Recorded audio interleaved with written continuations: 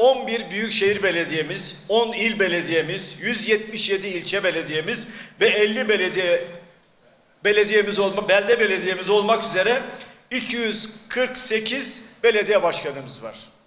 Toplam nüfusun yüzde 51.7'sine hizmet veriyor.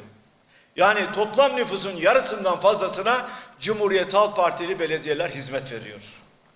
2019'dan bu yana 2019'dan bu yana 4 milyon 800 bin haneye sosyal yardım yapıldı. Nüfusun yüzde 51.7'sini oluşturan bölgede belediye başkanlarımızın olduğu yerde 4 milyon 800 bin haneye sosyal yardım değeri 12 milyar Türk lirası. Eğer bu sosyal yardımlar yapılmasaydı bugün çok daha ciddi sosyal patlamalarla Türkiye karşı karşıya kalabilirdi. Dolayısıyla var olan siyasal yapının, iktidar yapısının bizim topluma verdiği hizmetler dolayısıyla bize teşekkür etmesi lazım. Belediye başkanlarının verdiği hizmetler dolayısıyla belediye başkanlarımıza teşekkür etmesi lazım. Biz aynı zamanda çevreyi de savunan, çevrenin değerini bilen bir gelenekten geliyoruz. Belediye başkanlarımız bu konuda çok duyarlı. O konuda da rakam vereyim. Son 3 yılda 2852 yeni parkı belediye başkanlarımız hizmete açtı. 2900 futbol sahası büyüklüğünde yeşil alan kentlere kazandırıldı. Dolayısıyla Cumhuriyet Halk Partili belediyeler kentteki insanların mutlu olmaları için ellerinden gelen bütün çabayı gösteriyorlar. Ayrıca kadın sığınma evlerinden başlayarak pek çok alanda da güzel hizmetler veriyorlar. O konuda da bir iki rakam kamuoyuna açıklayayım, kamuoyuna bilgi vermek açısından.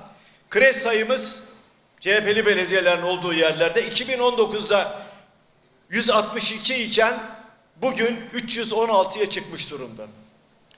Yüzde yüzün üzerinde kreş sayısında artış var ve arkası da gelecek. Kapasiteye baktığımız zaman 2019'da 12.279 çocuğumuz kreşe giderken bugün CHP'li belediyelerin olduğu yerde 25.519 evladımız kreşe gidiyor. Dolayısıyla özellikle yoksul semtlerden başlayarak kreş açma konusunda belediye başkanlarımızın gösterdiği çaba geliri düşük olan ailelerin çocuklarının daha iyi bir ortamda sosyalleşmelerine olanak sağlandı. Yurt konusunda da 20 yıldır yurt sorunu çözemediler. Millete söz verdik. Bir yılda Türkiye'de yurt sorunu çözeceğiz diye. Ama belediye başkanlarımız bu konuda büyük adımlar attılar. 2019'da 22 yurt varken bugün yurt sayısı 54'e çıkmış vaziyette. Kapasite 2996 iken 2019'da bugün 10.478 öğrenci Cumhuriyet Halk Partili belediyelerin yurtlarında kalıyor. Üretim ve üreticiye de Cumhuriyet Halk Partili belediyeler büyük destek veriyorlar. Destek verilen üretici sayısı 147 bin. 147 bin üreticiye Cumhuriyet Halk Partili belediyeler yardım ediyor, destek veriyor. 50 milyondan fazla meyve ve sebze fidesi tarım kesiminde üreticilere dağıtıldı. 50 milyondan fazla sebze ve meyve, meyve fidesinin verilmesi çiftçinin bütçesine önemli bir katkıdır.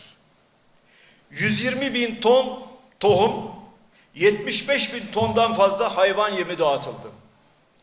Öyle ki bazı talepler geldi.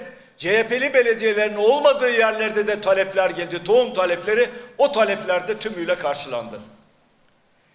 1800 tarım aracı yine üreticilere dağıtıldı. Bunların içinde traktör, römork, süt tankı gibi budama makinesi gibi pek çok tarım aracı var.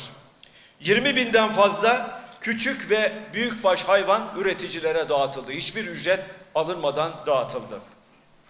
Hayvan hastalıkları ile ilgili mücadele konusunda 2 milyona yakın doz, doz aşı temin edildi ve hayvanlar aşılandı.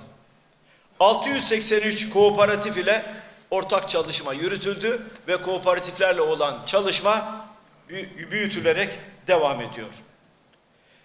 Ayrıca bizim belediyelerin olduğu yerlerde diğer belediyelerde diğer partilerin belediyelerinde en azından onlara o belediyelerden hizmet alan vatandaşlarıma da şunu söylemek isterim. Bizim belediyelerin olduğu yerlerde bütün ibadethaneler tertemizdir ve sürekli tertemiz tutulur. İster camisi, kilisesi, havrası, cemevi neyse, neresiyse insanlar Allah'a dua etmek istiyorlarsa en temiz ortamda, en uygun ortamda bu ibadetlerini yapıyorlar. Sosyal yardımlar ve kreşler fakir mahallelerden başlayarak yapılıyor. Oy versin vermesin hiçbir ayrım yapılmıyor. Ve bizim partili, A partili, B partili demeden insan insansa bizim için büyük bir değerdir ve o değere her türlü hizmetin yapılması lazım. Baskılar, tehditler var. Bunu en iyi belediye başkanlarımız bilir. Soruşturmalar var. Belediye başkanlarımızın başarılarını kıskananlar var. Belediye başkanları başarılı olunca başarılarının önüne nasıl set çekebiliriz arayışı var. Oysa akıllı bir yönetim belediye başkanlarının başarılı olmasını ister. En azından sosyal patlamaların önüne belediye başkanları geçiyor diye düşünür. Ama o kadar ciddi bir ön yargıya sahipler ki CHP'li belediyeler nasıl başarısız olur onun arayışı içindeler. Polis baskınları, diğer baskınlar, ihbarlar, şikayetler, haksız eleştiriler bütün bunların hepsi yapılıyor. Buradan vatandaşlarıma açık ve net ifade etmek isterim. Bu engellemelerin hiçbirisi Cumhuriyet Halk Partili belediyelerin hizmet vermesine asla ve asla engel olamayacaktır. Belediye başkanlarımız bütün engelleri aşarak halka hizmet verecektir. Halktan yana halk için çalışan, vatandaş için çalışan bir anlayışa sahibiz. Ve Cumhuriyet Halk Partili belediyelerin olduğu yerde hiçbir çocuk yatağa girmez. Girmeyecektir. Bunun da bütün Türkiye'deki vatandaşlara bir beklenti olmanın ötesinde gerçekleşen bir doğru olarak da ifade etmek isterim. Dün vicdansızlık yapmayın aç kalan falan yok demiş Erdoğan.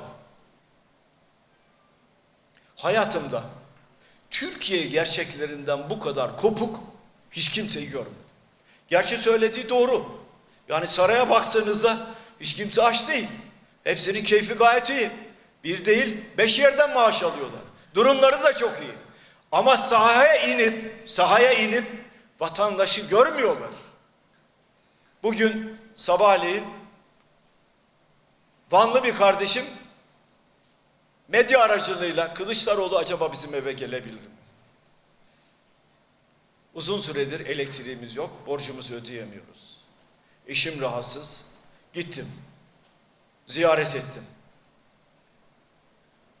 Bu mahallede dediler, buna benzer çok ev var dediler. Ve yoksulluk diz boyu dediler. Eğer sosyal devlet sosyal devletliğini yapmazsa, siyasi otorite sosyal devletin yapması gerekeni yaptırtmazsa, bölge halkını bana oy vermedi diye cezalandırırsa, Vanlılardan şunu bekliyorum. Bize katılacaksınız. Bize destek vereceksiniz. Beraber olacağız. Birlikte olacağız. O zaman göreceksiniz Van'ın nasıl Van olduğunu göreceksiniz. Sadece Vanlılar görmeyecek bunu. İranlılar da görecek Van'ın nasıl değerli bir kent olduğunu. Türkiye de görecek bunu. Dünya da görecek bunu. Değerli arkadaşlarım, açlığın ne olduğunu bilmiyorlar. Bizde bir söz vardır. Allah kimseyi açlıkla terbiye etmesin derler. Asgari ücret 4253 lira. Türk İş'in yayınladığı asgari ücret şey, açlık sınırı 6017 lira. Açlık sınırını belirleyen ben değilim. Türk İş belirliyor. Yeni de belirlenmiyor. Belirlemiyor. Yıllardır yapıyor. Aylık hesaplar yapıyor ve bunu kendi internet sitesinde yayınlıyor. Açlık sınırının 6017 lira.